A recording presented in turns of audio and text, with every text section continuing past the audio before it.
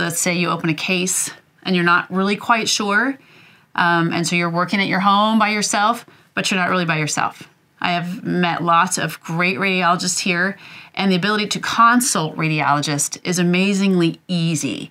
It's quick and it's easy, and you have access to a lot of radiologists that are fellowship trained in areas that you might not be fellowship trained in or you may not be an expert at. Or you have that really great case, you're pretty sure you know what it is, but you would just like somebody else to take a look at it.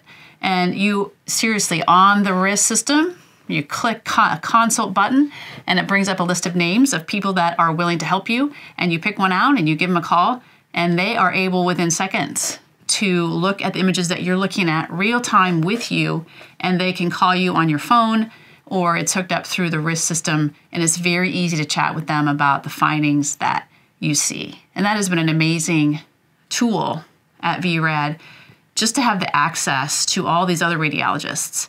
And not only that, but they're always kind and very willing to help me. It has been an amazing opportunity.